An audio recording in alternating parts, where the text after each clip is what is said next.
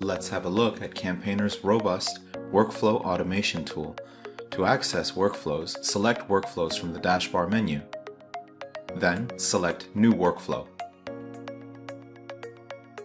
This is Campaigner's drag and drop workflow editor. The Send Email node will send an email to the contact in the workflow. You can design these emails ahead of time or on the fly as you choose. The Set Delay node will allow you to delay actions in between nodes. Update Contacts node can change any given contact details associated with any subscriber. The Set Condition node will check to see whether or not an action was performed.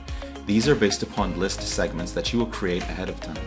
The contact enters the workflow via the trigger. You can have a rule-based trigger, a timer-based trigger, or an API-based trigger.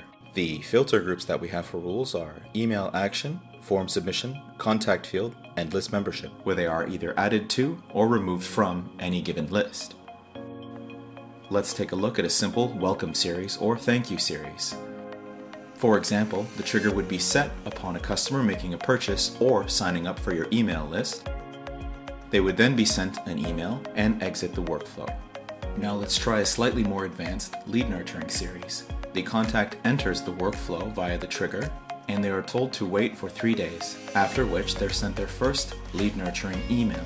The node checks to see whether or not they opened it. If they did, their contact details are updated so that they can be entered into another workflow and then they will exit. If they did not open the email, the process will be repeated.